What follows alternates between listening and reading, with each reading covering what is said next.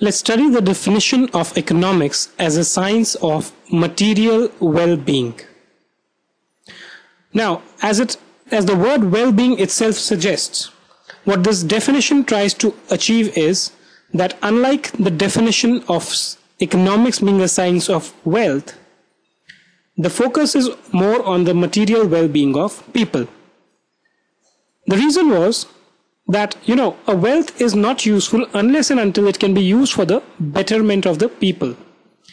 Two main people who were associated with this concept were Alfred Marshall and A.C. Pigou. Okay? Now let's read the definition and I'll simultaneously explain to you what it means. So in both the cases, let's understand the definition first. So let's start with Mr. Alfred Marshall. A study of mankind in the ordinary business of life. So how a man deals with various situations in the ordinary business of life insofar as it relates to the second part, which is what? It examines that part of individual and social action which is most closely connected with the attainment and with the use of the material requisites of well-being. So what it says is that economics basically studies mankind, okay?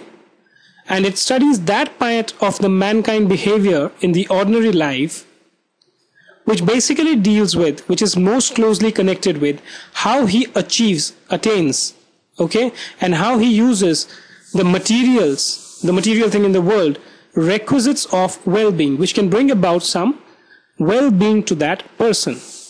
Thus, it is on one side a study of wealth.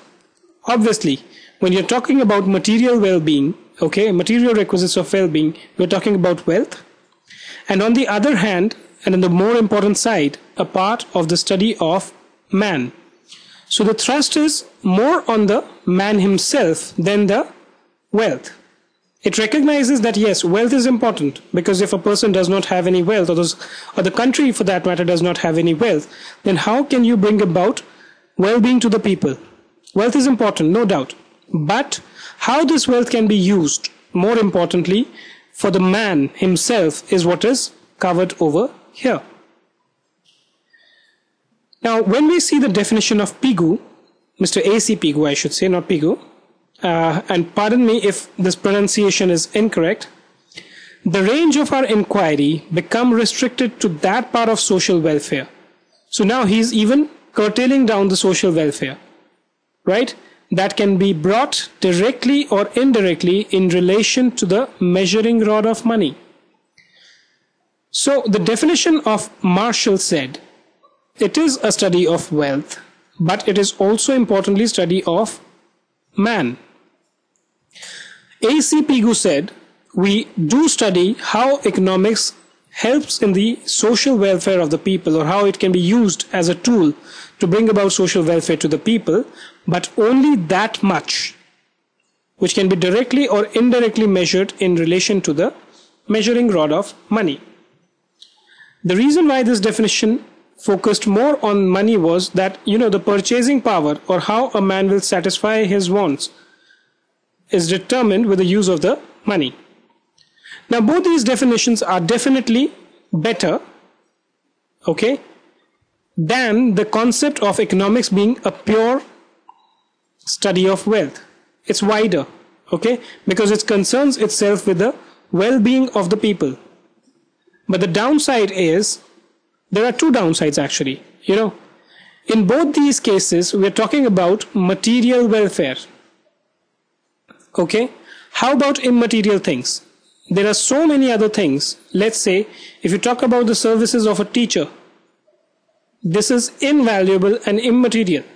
But that is not that may not necessarily be material. Right? And the second reason why this is criticized is that well-being is a concept which is very vague.